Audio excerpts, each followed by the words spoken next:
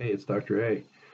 Answering a question today about thyroid antibodies. The person says that their doctor said, uh, in addition to their TSH and their T3 and their T4, they're supposed to have some thyroid antibodies tested. And first, what does that mean? What are they? What do they mean if they're positive? And why do I need them tested? So it's a really great question. Uh, by the way, thank you everyone for uh, your comments and questions. Love them. So, thyroid antibodies. First thing, an antibody is something that your immune system makes, and we've got other videos on, you can look at the T and B cell antibody videos, stuff like that. But basically, it's part of your immune system that makes an immune protein. So, you've heard of immunoglobulins or IGs.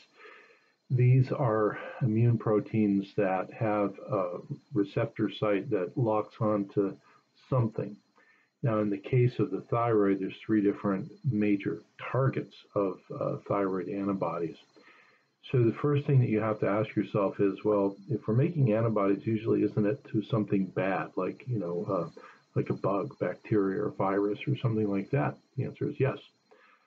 But when you have an autoantibody made, meaning an antibody made against you, you now have an autoimmune uh, trigger which can create an autoimmune condition. Now, we'll talk about in a separate uh, YouTube about what autoimmunity is and the mechanics of it and all of that. But basically, what happens is there are parts of your thyroid where the immune system gets confused and it decides to make antibodies against you and specifically against parts of your thyroid. Now, to understand this a little bit more deeply, um, we'll just briefly talk about kind of the two ends of the spectrum when it comes to thyroid antibody uh, triggered diseases. So, on one end of the spectrum, there's Graves' disease, and that is a hyper, a high thyroid condition, too much thyroid. On the other end, normally there is Hashimoto's disease or Hashimoto's syndrome, where you have not enough thyroid, low thyroid, hypothyroid. So, in the case of Graves, where you have this high uh, activity of your thyroid, what happens is your immune system sends confusing messages through antibody production to your thyroid that says produce more thyroid.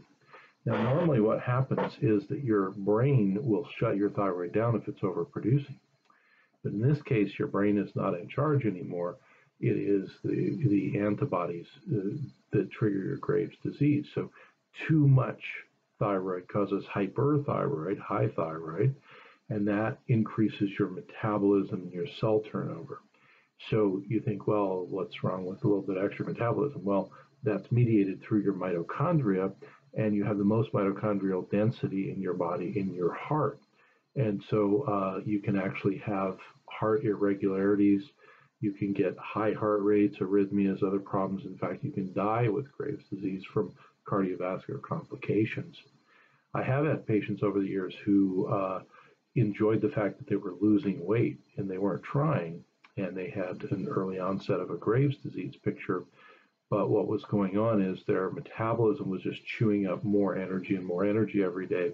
They weren't getting a lot of cardiac effects other than a high heart rate, so they didn't want to tell me. And they waited till they lost 15 or 20 or 25 pounds. Now, that might seem fun, you know, with respect to the weight loss, but with respect to your cardiovascular uh, activity, you, you don't want that much thyroid around, so you do have to do something about it. Now, the the thyroid stimulating hormone receptor antibodies, uh, often called the TSI, uh, or there's a group of them, there's two major ones. Basically, what your immune system is doing is kind of taking the place of the TSH, the thyroid stimulating hormone, only not doing a very efficient job of it. And it's uh, attacking in one or two different places on the thyroid to stimulate your thyroid to overproduce thyroid hormone without feedback from the brain. So your T3 and your T4 will go way up, and these antibodies will be elevated. So if you have symptoms and signs of Graves' disease, among other things your doctor might do, that antibody set may be one. The thyroid stimulating hormone receptor antibody set. Uh, that would be one definitely they would order. They'd also order to see what your you know T3 and T4 are doing, see how overproducing your gland is, etc. Now, if we go to the other end of the spectrum, there's two primary Hashimoto's antibodies.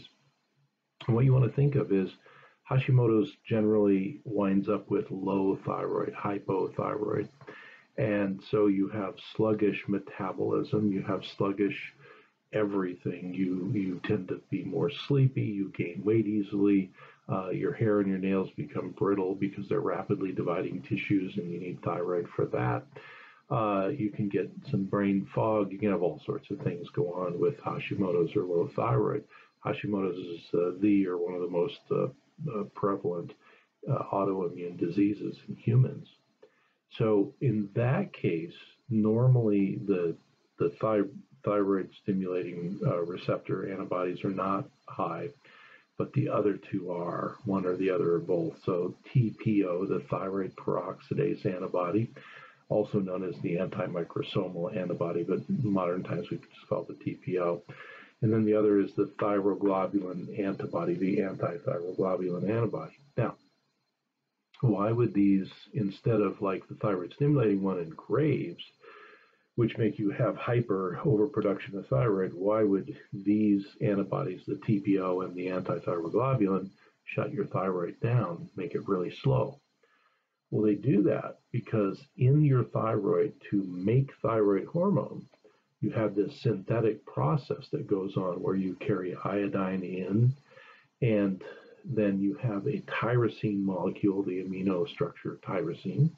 So it's sitting there like this, and then you have this little machinery system that peroxidases the uh, iodine and adds one iodine at a time until you have four usually, maybe three, so T3 or T4, and then it's sent out into the bloodstream.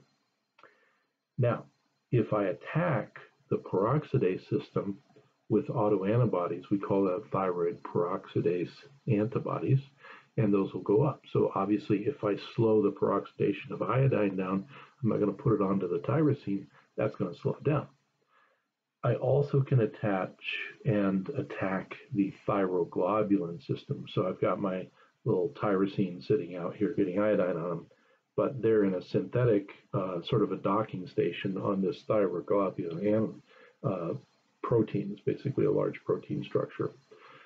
And they're sitting there. So if I attack the large protein structure, I'm going to mess with this as well. Now, most of the time, uh, doctors will often just take the TPO antibody because in most Hashimoto's that's what's the highest. But what I found in people who either have labs that are borderline or there's other things going on, uh, we will just check both of those, the TPO and the antithyroglobulin antibody. And uh, yes, it you know costs a little bit more uh, at the lab end, uh, not really a lot because these are generally fairly inexpensive tests. But what I find is I catch a lot more uh, early cases of thyroid autoimmunity if I check both. Now, why would your doctor maybe check all of them? Well, Hashimoto's usually it's TPO, antithyroglobulin, or both. In Graves, it's usually the thyroid stimulating immunoglobulins or the thyroid uh, stimulating hormone receptor antibodies. But in Graves, sometimes you'll have a mixture of those. Usually in Hashimoto's, you don't get the TSH receptor antibodies on, you just get the TPO and the T thyroglobulin. But you can have both. And so sometimes to get the full picture, they might order all three, especially if you have some mixture of symptoms and they want to see which direction you're going. Because one thing that can happen, not to everybody, but what can happen sometimes early on in autoimmune thyroiditis is you might be going towards Hashimoto's disease and low thyroid but you might have a little uptick where you have some hyperthyroid symptoms and then they sort of drop off. So if your doctor catches you in that early stage, they may actually run all three or the three. Uh, there's really a couple of mixed in with the third one. So those are your common tests. And so to answer the question, why would your doctor order thyroid antibodies? Sometimes they'll do it if your uh, regular labs, your TSH and your free T4 and free T3 don't look too bad, but you have symptoms. Uh, sometimes they'll do it just right away if you have symptoms of Graves' disease, a hyperthyroid symptoms. And sometimes they'll do it if, um, you know, maybe it looks like you could go on thyroid because you have a little bit of low thyroid, but they just want to see uh, do you also have an autoimmune component as well.